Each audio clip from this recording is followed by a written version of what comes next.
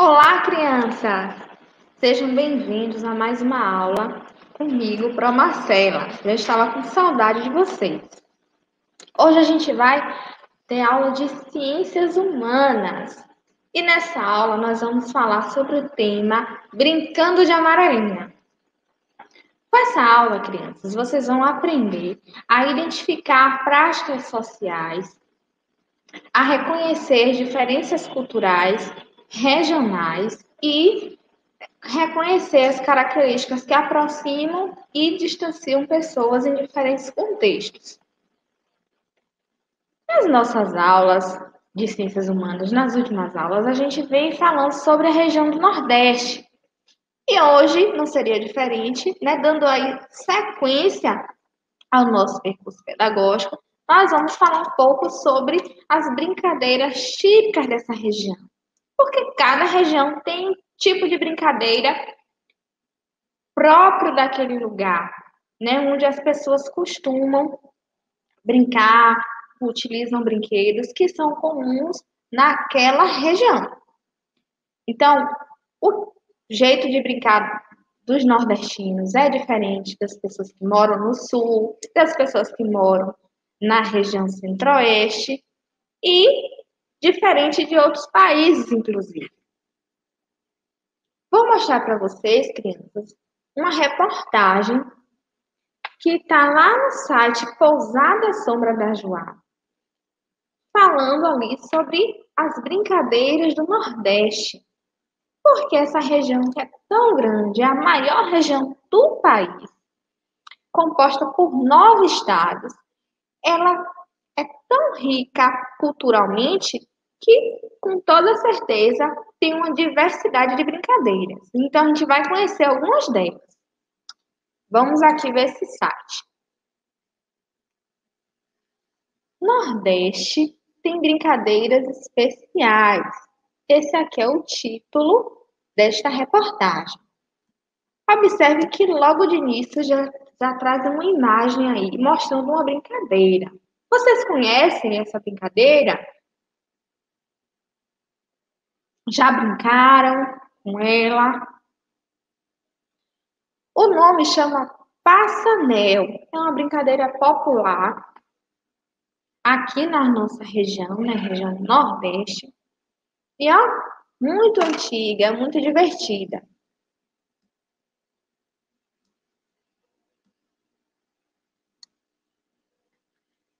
Brincadeiras especiais do Nordeste saudáveis e ingênuas, contamina todo o Brasil. Por ser uma região muito grande e a sua cultura é bem diferente das outras, e, claramente, as brincadeiras são especiais. Nordeste é rico em vários sentidos, apesar de muitos duvidarem disso quando se fala no aspecto financeiro mas sua cultura é responsável por contaminar positivamente outras regiões, tanto na arte como também na culinária. E por que não, com muitas brincadeiras ingênuas e sadias? Enquanto em outras regiões do Brasil quase não se vê brincadeira na rua, o Nordeste cultiva e valoriza a arte de correr e brincar. Oxe, criança gosta mesmo de brincar. Vejam aí aquela expressão, né? Oxe, aquela expressão típica do vocabulário nordestino que a gente viu na aula de linguagens.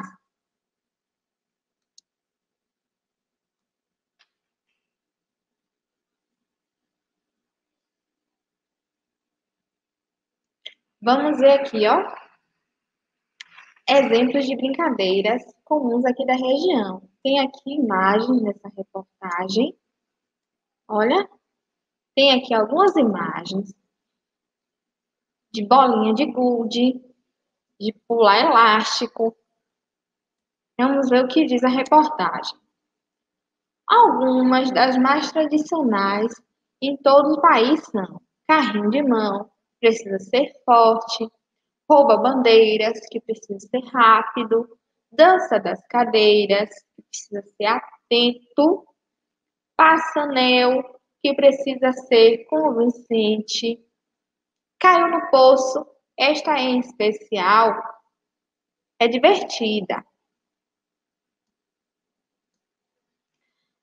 Já na região Nordeste, as brincadeiras especiais são conhecidas como sete pecados, precisa ter coordenação motora, passarás, de agilidade, um pouco de esperteza.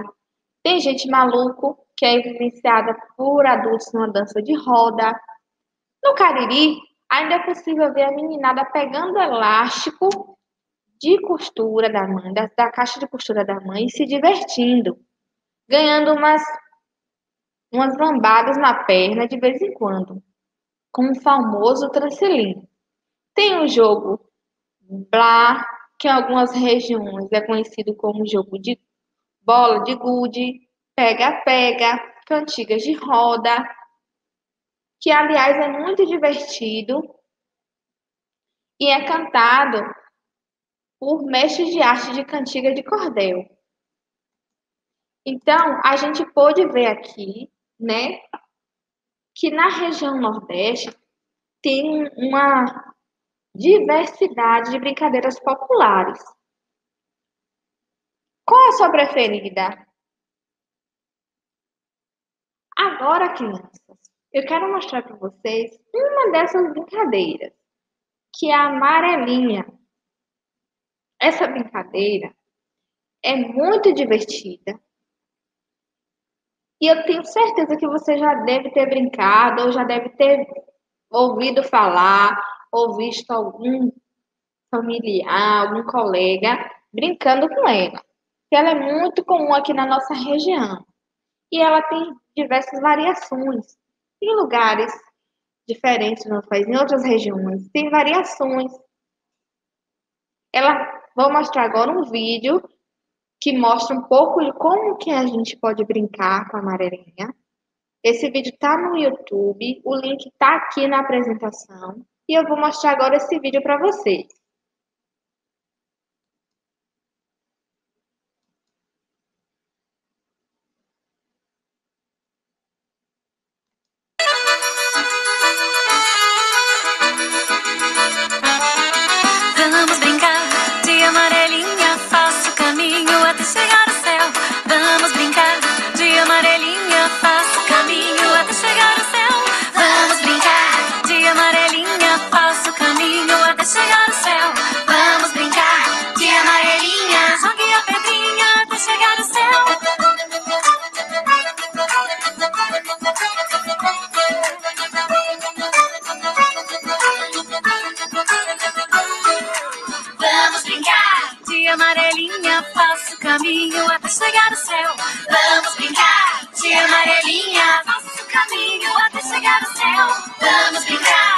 Amarelinha. Faça o caminho até chegar ao céu. Vamos brincar de amarelinha. Jogue a pedrinha até chegar ao céu. Um, dois, três, quatro, cinco, seis, sete, oito, nove, dez, sete.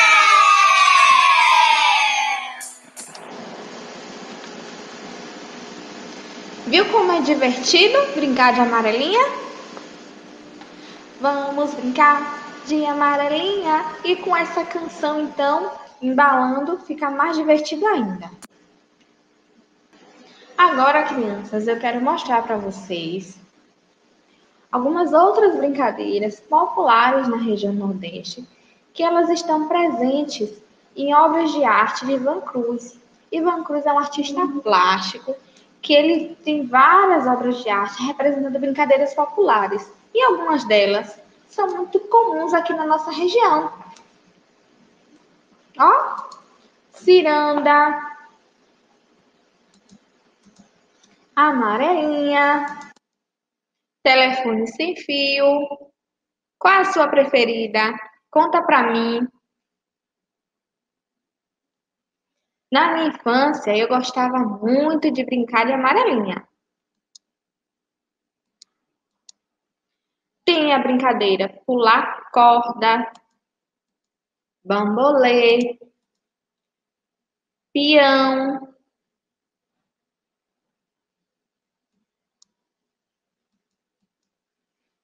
tem a brincadeira também de empinar pipa, né? Que é muito comum naquela época do ano onde a gente vai ter a incidência maior de eventos. É muito comum as crianças aqui na região Nordeste ficarem brincando de empinar pipa. Tem bola de gude, a brincadeira né, de bola de gude. Cabo de guerra.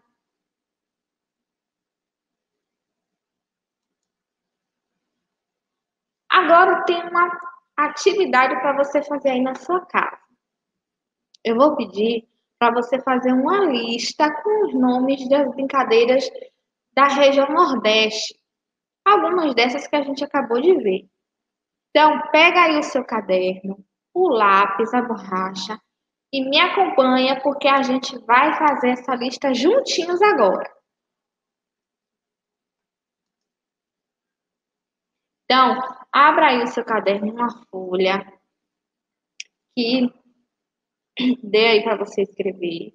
E então você vai separar uma linha, e aí a primeira linha no seu caderno, você vai escrever o nome da lista, que é esse aqui. Lista de brincadeiras do Nordeste. Escreva aí na primeira linha.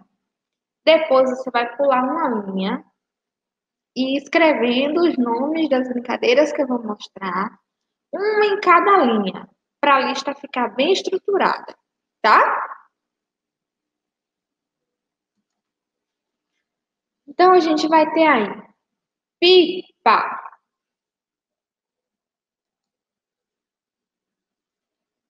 bambolê, bola de gude, amarelinha,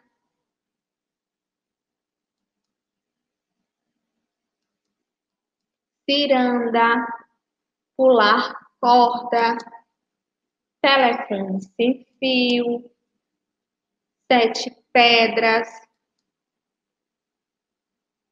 Se foi rápido, crianças, e você não conseguiu acompanhar, não se preocupe, você pode pausar o vídeo nesse momento da aula e ir copiando devagar, tá? O importante é que você desenvolva aí essa habilidade de escrita. Agora eu quero mostrar para vocês como é que você vai fazer para brincar de amarelinha aí na sua casa, junto com seus familiares, com seus colegas.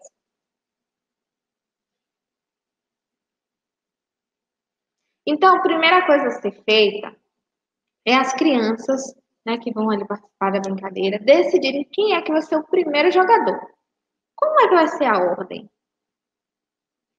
Depois, Cada jogador, né, quando chegar a sua vez, vai ficar ali na frente do desenho da amarelinha e vai atirar uma pedra na casa número 1. Um,